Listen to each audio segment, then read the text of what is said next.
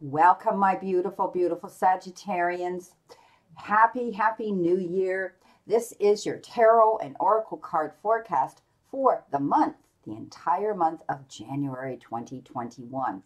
It's divided up in four cards. That means one for each week and a clarifying card to go with it. You are also going to receive four energy cards to tie in this reading.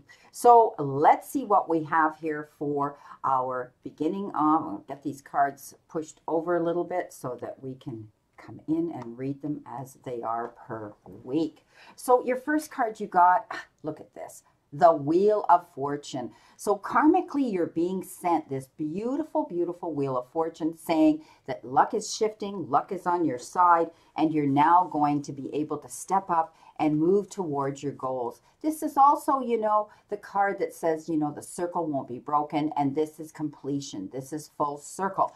So you're going to be seeing the coming into the beginning of January some really good shift in energy. A shift that says things are going to work out in your favor. If you have been thinking and uh, about money or been concerned about your financial status, this is going to improve. This whole reading seems to be almost like a financial forecast for you, Sagittarius. So perhaps a lot of you, that's what you're focusing on is the financial part of your life going into January with the brand new beginning month of the new year. Beautiful. And clarifying that, you have been given the Queen, the Queen of Pentacles.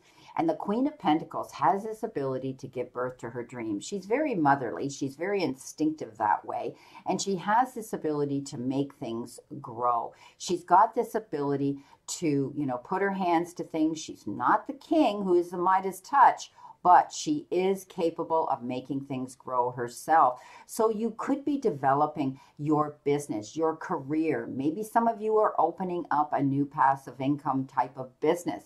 Maybe some of you have just decided that you're stepping out there and you're going to be self employed, becoming your own boss. But know that the Wheel of Fortune saying that you have this ability to take on the energy of this Queen of Pentacles and step up, go forth, plant your seeds, and watch your prosperity coming in. Look what you've got with it wealth. So, definitely, you're going to be experiencing wealth. For some of you, it might be in your health, others, it could be in your financial area of your life. But I love, you know, it, depending on how you perceive wealth, you are going to see prosperity, abundance, and fulfillment coming in. This looks like it's going to be an amazing month for you, Sagittarius, with wealth and prosperity coming your way. Your next card that you have is the Six of Cups. And this could be somebody from your past coming in here who is tapping into you, who wants to contact you, who wants to connect with you. Maybe they come in with a fresh new beginning, new ideas. Maybe they're coming in with their hand in attention, affection, appreciation, respect, and support.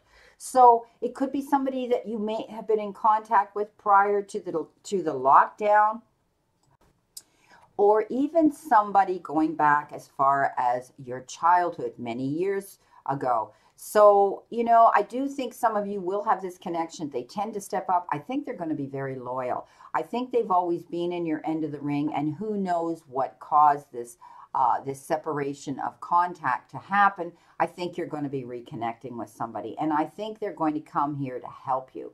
Some of you could be also reconnecting with your children after the lockdown. You could be reconnecting or having a child brought into the home because you had this Queen of Pentacles. She has this ability to give birth to her dreams, and perhaps there may be a child being brought into the family circle. Know that you could be uh, actually entertaining mentoring, teaching, or being in contact with children as well. Coming in with this Six of Cups, you're given uh, the Eight of Cups. And this is the, the card of balance. So as you flow through this month, know that you are probably, a lot of you, contemplating going in a new direction. Perhaps some of you have said, you know, I need to do something different. I'm going to get together and with with whoever's coming in here in the past with me, and together we can collaborate and move on in a new direction. It, uh, it could be in the form of many things, but I think you're going to be able to see that you need to get your ducks in a row first. You need to cross your T's, dot your I's because you're not there. You know there's a better direction. You know there's a better future ahead of you, but it's taking time. It's taking time for you to process it, to plan it, to get it moving. You've got the, the this is amazing. You've got the harvest here. And again, this balance card, I want to bring the balance card into this as well. The Eight of Cups. Uh, this card here the Lenormand refers to harvest, but it means that you have to wait. This is going to be prime time this month for you to see fruition and abundance coming in. But remember, like everything, uh, you know, like every seed we plant, it needs all the elements to germinate, bring it into harvest, bring it into complete full bloom. You may be waiting for this to come in with the Eight of Cups not there yet. So maintain your balance and your footing here while you're waiting you planted your seeds well. Look at the third week, the Seven of Pentacles. Okay, so definitely you have done something here and you are waiting for your harvest to come in. Again, you did it well. You're waiting to hear, maybe you put out a proposal, maybe you put out a resume, an offer, an opportunity uh, for someone else. Maybe it has to do with someone you've connected with from your past, and you're going to collaborate and put your ideas together for some of you. You planted these seeds well, my friends. So know that you need to just be patient, take a breath, don't worry about it. It's going to come in in your favor because you did everything right. Coming in with that, you have the page of rods. And this page of rods could be somebody who, you know, could be, uh, you know, an Aries, a Leo, or a Sagittarian energy coming in towards you. And he, this page brings message of new insight and fresh, fresh ideas. And I want you to stand in your your optimism and stand in your confidence because you're you, you need to be willing to go in a new direction this month. Some of you might be stepping out there and doing something totally new that you haven't done before. And do it with enthusiasm because this is all about somebody who comes in here to bring you this good news. Also, this could be a charming admirer that steps up as well, because we did talk about the the uh, you know the six of cups, someone from your past, and also you know look at the child. This person could look younger, act younger, or even be younger than you. That's coming in here. Uh, and don't be afraid to take a chance here. All right. So you know this is beautiful. Your final, your your your pardon me, your Energy card with that is surrender to inner peace. Cultivate inner peace on a daily basis in quiet, meditative moments. Focus on the stillness within and enjoy your inner refuge. Others will feel your good vibes too, and your life will flow easier. So don't get stressed out here while you're waiting to hear about this, okay? St st stay patient here because it's coming in. Things aren't moving yet as fast as you want, but they will start to flow. You're going to see this abundance coming in all in perfect timing. Okay, we talk about divine timing all the time. So just surrender to inner peace while you're there. Wait for it, anticipate it, manifest it, and believe you're going to get it. All right, beautiful. Nine of Cups. Make a wish. Wish is fulfilled. Cups being filled. You're going to be so happy here because things are going to start to come into you. Maybe it has to do with the, your relationship part of your life. Others, it's going to have to do with the beautiful abundance of giving birth or giving birth to your dreams. So these cups are going to be filling. This is wishes fulfilled.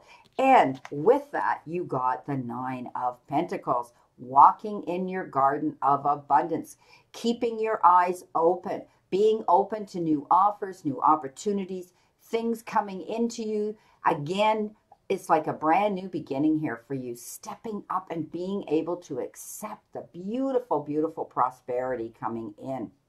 Oh, this this reading is amazing, Sagittarius. I think some of you are, you know, you're going to be going out on your own, uh, maybe opening your business, and then you want to collaborate with someone else. Maybe you're going to bring in a secondary partner or somebody. Could be partnerships in romance or business here.